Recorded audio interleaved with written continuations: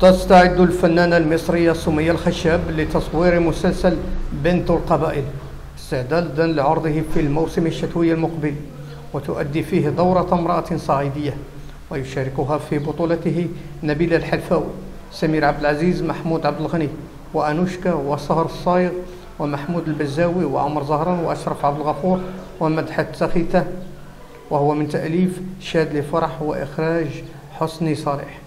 يتناول المسلسل تفاصيل الصراع بين القبائل على الزعامة وأيمانهم بتوريث الحكم ويقدم العالم تقاليد مدينة أسوان ويحكي تفاصيل عادات وتقاليد القبائل. يذكر أن سمية الخشاب قد سجلت مؤخرا أغنية بعنوان عربية أنا وهي من كلمات محمد حسن ومحمد وهشام صادق. ومن الألحان سمية الخشاب وتوزيع محمود الشاعري وهو التعاون الأول بينهما.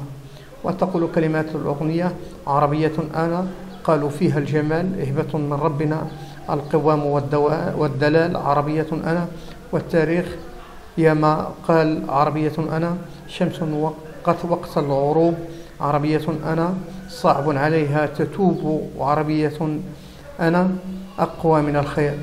الجدير بالذكر أن آخر أعمال سمية أغنية بتستقوي وهي من ألحان سمية الخشاب. وكلمات هشام صادق وإخراج جميل المغازي.